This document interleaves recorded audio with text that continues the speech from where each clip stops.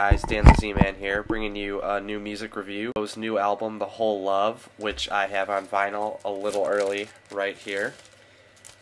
Hopefully you guys can see that.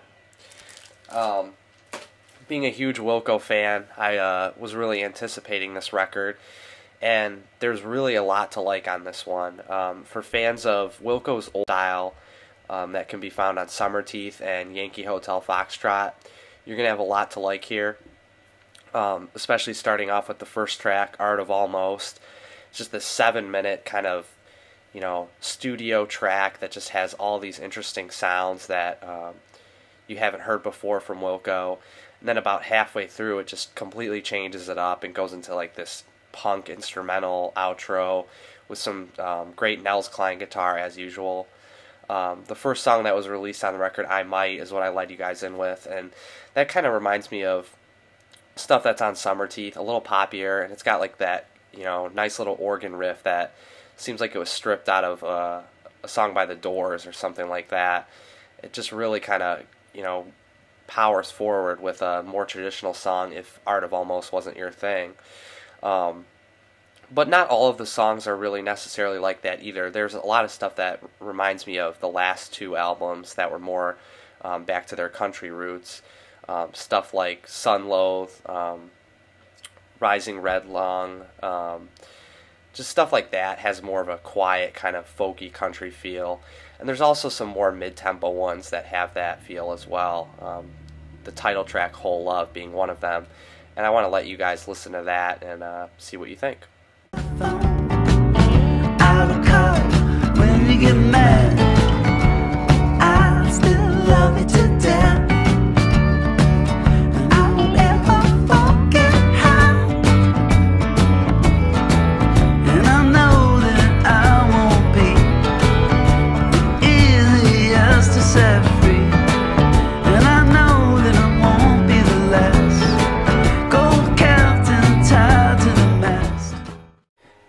Welcome back, guys. Hope you liked that last one.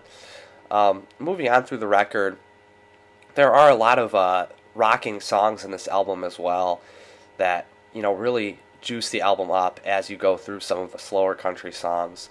Um, Born Alone comes to mind, has just a great kind of continuous, you know, guitar riffing kind of thing going on at the end that plays uh, the song out and it kind of fades out really perfectly. Um, also, Standing O is really a uh, strong, strong song when it comes to a rocker. If you're listening to the previous few, it kind of blasts through your headphones all of a sudden, and you might have to turn the volume down a little. That's how uh, loud it is compared to some of the previous songs. But um, it really helps juice up the, the last half of the album. Um, like I said before, Whole Love is near the end.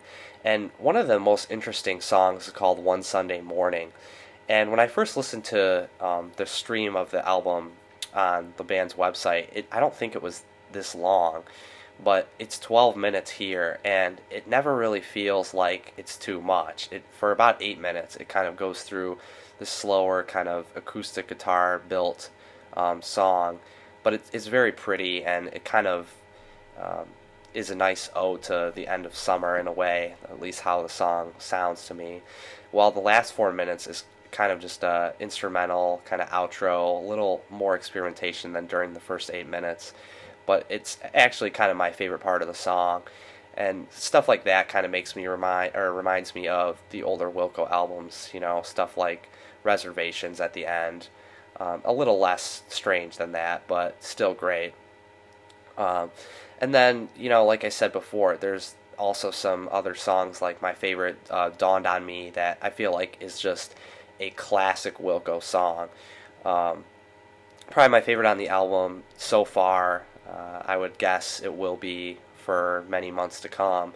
Just the the way the lyrics are, the tempo of the song, the instruments, uh, the chorus, everything is just comes together perfectly. It's just you know pure bliss in this song to me, and it's probably you know one of my top you know 15 to 20 Wilco songs of all time, and uh, stuff like that really makes this album stand out compared to their last few. Their last few just seemed a little boring at some points, and I feel like this is a, a great comeback from that, where it kind of brings them more to the middle of their alt country roots and their experimental, um, you know, middle records that they had in there.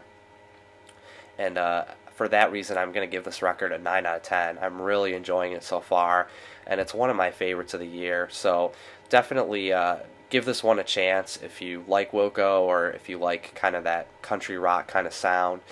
And uh, definitely see them live if you get a chance as well. It's probably my favorite live act that I've ever seen. So uh, until next time, guys, take care and have a great one. So